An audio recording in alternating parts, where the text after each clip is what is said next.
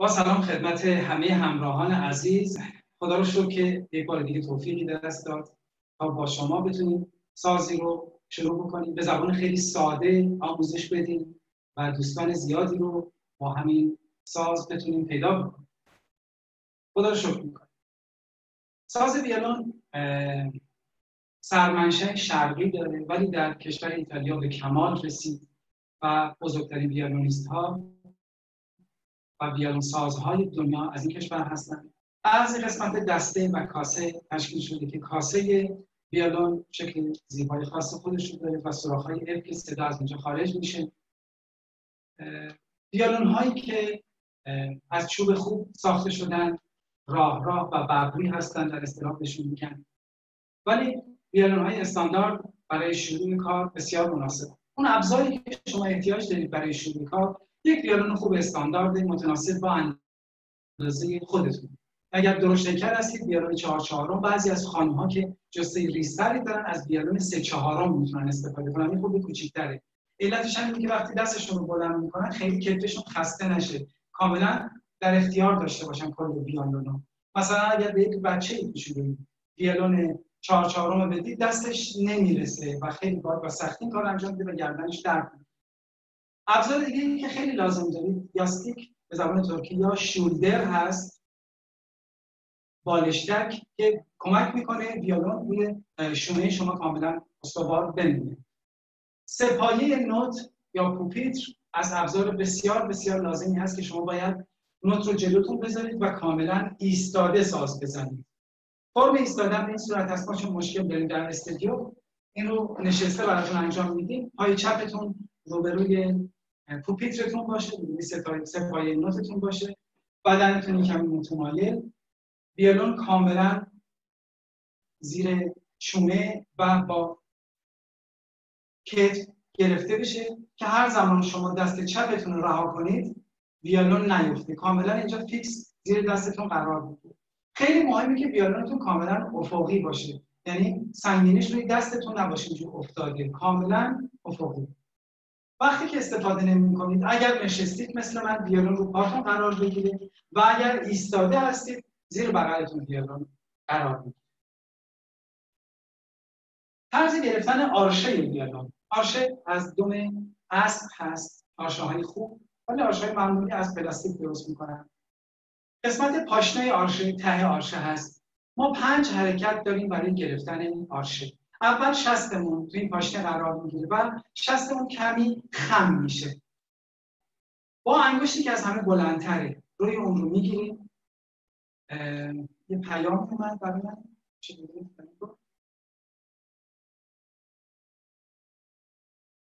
آرشه با انگشت شست مهار میشه با انگشت وسطی. انگشتی که حلقه هست میاد روی این چشمی که صدف هست. و انگشت کوچیک روی چوب انگشت اشاره میخوابه روی آرشه. پس حرکت یک دو سه چهار و پنج. با پنج حرکت آرشه رو مهار می‌کنیم. کاملا آرشه تحت تسلط ماست. انگشت کوچیک خیلی اهمیت داره که روی این چوب باشه. هر کدوم از این انگشته کاری انجام میدن مثلا انگشت کوچیک با فشار روی اون نوک آرشه میاد بالا. انگشت اشاره وقتی فشار میدیم آرشه به سمت پایین میاد انگشت حلقه وقتی فشار میدیم آرشه به سمت بیرون میاد. پس هر کدوم از این انگشته کار رو انجام میدن. وقتی که آرشه رو روی می‌زنیم یه کمی موی آرشه به سمت ما میاد. اینو خیلی دقت بفرمایید. یه کمی موی آرشه به سمت سر نخور به سمت جلو به سمت خودمون باشه. امروز ما با سیم دوم ویولون کار داریم. منظور از سیم دوم وقتی ویولون روش شما می‌ذاریم اولین سیم سمت راست نوت می هست دومین سیم نوت لا هست. سومین سیم نوت ر هست و چهارمین سیم سل. می لا ر سل. که استاندارد ویولون هست برای شروع. ما با دومین سیم کار داریم سیم لا. باید دقت بفرمایید. وقتی که ویولون رو زیر شونتون می‌گیرید زیر چونه و با شولدر مهارش می‌کنید دست چپ شما کاملا عمود به زمین باشه. یعنی اینجوری قرار نگیر کاملا عمود به زمین. دست راست که با اون حرکت پنج حرکت آرشه رو گرفتید دقیقا بین این چوب فینگرتاش چوب سیاهه و خرک قرار می‌گیره. وسط بهتره که جایی رو در انتها برای هدف آخر ویولون در نظر بگیرید. که آرشتون کج نشه. یعنی از کتفتون استفاده نکنید. فقط ساعدتون باز بشه و مچتون جمع بشه. وقتی که آرشه به سمت بالا میاد ببینید دست من رو مچ کاملا میشکنه و وقتی به سمت پایین میره مچ کاملا برعکس میشه. یعنی حالت ناو و تاب می‌گیره. پس این حالت پایین آرشه و این حالت بالای آرشه. سعی کنید از کتفتون استفاده نکنید که نسبت به ویالا ببینید زاویه پیدا می‌کنید یک جایی رو هدف قرار بدید در یک خط راست حرکت کنید. و دقت بفرمایید که به سیمهای اول و سوم برخورد نکنید.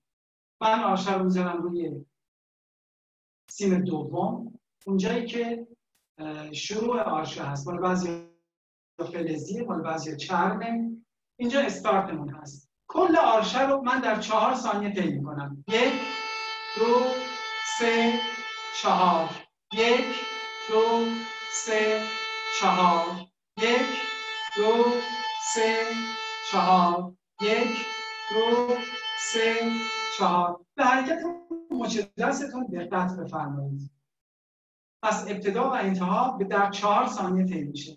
این چهار ثانیه رو در موسیقی میگن نوت گرد.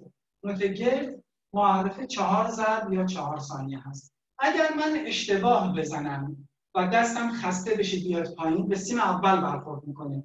با گوش دقت بفرمایید. یا اگر دستم خیلی بالا ببرم به سیم سوم می‌خوره. کاملا گوشتون تشخیص میده. چون ویولون سازی که کاملا بغل گوش شما هست. پس با گوش دقت بفرمایید. سیم دوم.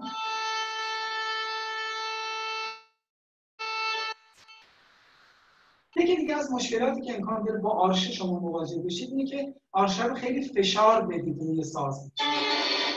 صدای ناهنجار میده یا نوک آرشه انقدر شل باشه که صدای ازش در نیاد سنگینی آرشه قسمت پایین آرشه است اونجا که دستتون قرار می‌گیره. پس وقتی که می‌خواید بزنید قسمت پایین که دستتون هست آروم فشار بدید به وسط که رسیدید کمی فشار رو بیشتر کنید دوباره فشار بیشتر فشار کم کنید این باید به دستتون به بلق آرشه باید به دست. حالا پس یاد گرفتیم که چجوری روی سیم دوم دستمون کاملا افقی باشه. میریم سراغ نوتی که امروز قرار بزنیم. نوت گرد که نشون دهنده چهار ثانیه هست.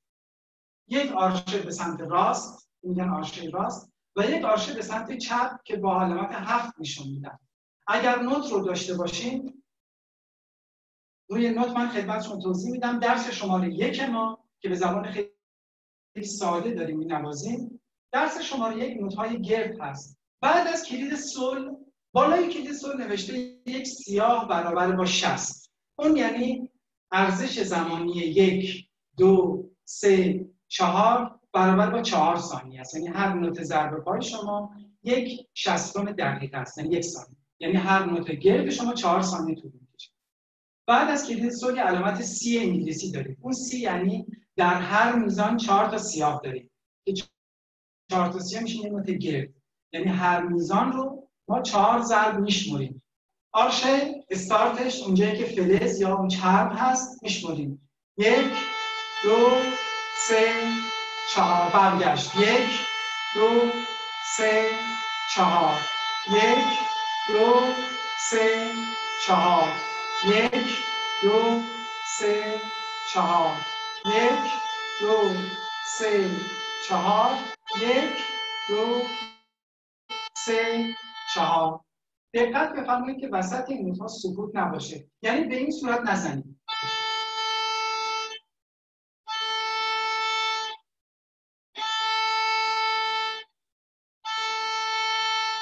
اینجا هیچ سکوتی نداریم. یعنی بلافاصله برمیگرده آشه. یک دو سه چهار. یک دو سه چهار. یک دو سه چهار. یک دو سه چهار.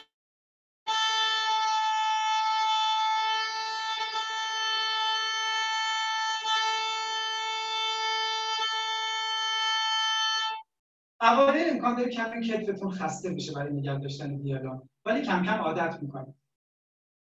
درس شماره دوی این مجموعه که برای شما آماده کردیم نوت هست که هر کدوم دو ثانیه هست. درس شماره دو به این نوت ها میگن نوت های سفید که آرشه کامل ما به اندازه دو ثانیه طول می‌کشه. فقط آخرین نوتی که در این مجموعه نوشته شده نوت گرد هست یعنی چهار ضربی. پس یک دو سه تا میزان یا سه تا جمله آرشه های دو ضربی دو ثانیه‌ای هست و آخرین میزان ما آرشه چهار ضربی. پس دو ثانیه آرشمون تا آخر باید انجام بشه. یک دو سه چهار. یک دو سه چهار. یک دو سه آخرین میزان. یک دو سه چهار. یک بار دیگه درس شماره دو رو می‌زنم. یک دو سه چهار. یک دو سه چهار. یک دو سه آخرین میزان یک دو سه چهار. درس سومی که امروز آماده کردیم برای شما با نصف آرشه نواخته میشه. گاهی این نصف پایین آرشه هست گاهی نصف بالای آرشه یعنی آرشمون رو تقریبی نصف می‌کنیم یا بعضی ها علامت می‌زنن. یک نوت سیاه برابر با یک ضرب هست که نصف آرشه هست. یعنی مثلا می‌زنیم یک دو سه چهار. یک دو سه چهار. یک دو سه. آخرین میزان یک دو سه چهار. همونجور که در نوت می‌بینید آخرین میزان دو تا نوت سفید هست. بقیه این نوت ها همشون نوت سیاه هست. یک بار دیگه. می‌زنم با نصف آرشه یک دو سه چهار. یک دو سه چهار. یک دو سه چهار. حالا یک دو سه چهار. پس امروز سه نوع آرشه کشیدن رو ما روی ویولون تمرین کردیم. یک آرشه چهار ضربی که بهش میگن آرشه گرد. چهار ثانیه. آرشم به سمت راست حرکت می‌کنه و چهار ثانیه برگشتش یک دو سه چهار. یک دو سه چهار.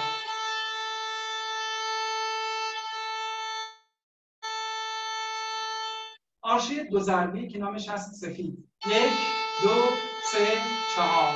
یک دو سه چهار.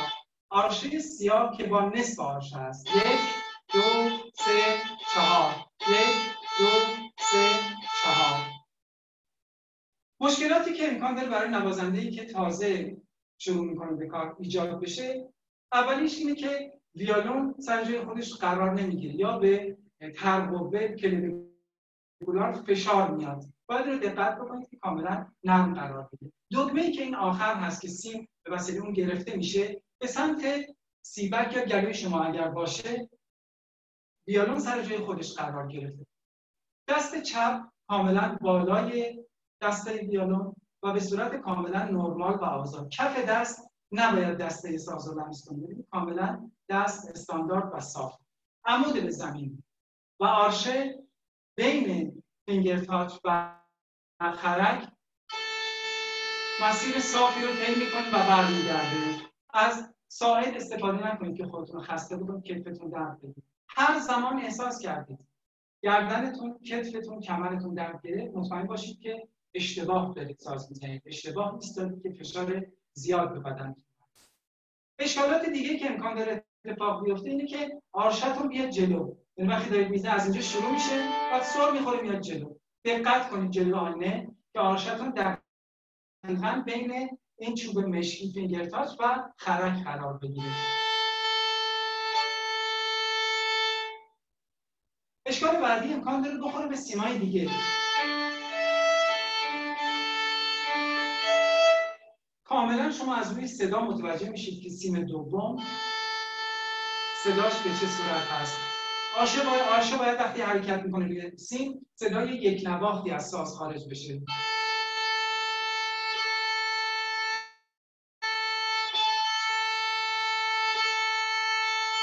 پس امروز آرشه گرد که چهار ضربه آرشه سفید که دو ضربه و آرشه سیاه که با نصف آرشه زده میشه رو تمرین کردیم. جلو آینه بیستید و فیگور ساز زدنتون رو ببینید. سازتون به سمت پایین نباشه کاملا افقی قرار بگیره. این دست عمود به زمین قرار بگیره. دست به سمت بیرون نباشه. آرشر که دارید می‌کشید وقتی میاد بالا مچ دستتون به این صورت وقتی میاد پایین مچ دستتون برعکس میشه. این خیلی تمرین خوبیه. آرشر رو باید درست محکم به دست بگیرید اما فشار ندید توی ساز. این خیلی مهمه. چون اگر فشار بدید صدای ناهنجاری از ساز خارج میشه. باید خیلی نرم.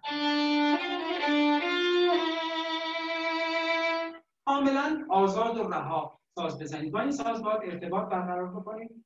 خیلی ها میگن ساز ویولون ساز بسیار سختیه. من فکر می‌کنم با تمرین و مبارست این سختی شما می‌تونید شکست بدید و خیلی راحت از پسش برید این درس امروز ما تا هفته آینده که آرشه کشیدن درست نواختن رو تمرین می‌کنید و قبل از هر چیز حتما مطمئن بشید که سازتون کوک هست. برای تمرین آرشه فعلا نیاز به کوک خاصی نیست. ولی در آینده من توصیه می‌کنم حتما یکی پیدا بکنید که براتون در ابتدا کوک بکنه. یا من در آینده کمی دورتر کوک کردن رو بهتون یاد میدم با تیونر یا دیاپازون. به خودتون بتونید کوک بکنید فقط باید حوصله به خرج بدید. برای رسیدن به مقصد یه مقداری زمان لازم هست. عجله نفرمایید. مطمئنا از پسش برد تا هفته آینده موفق باشید.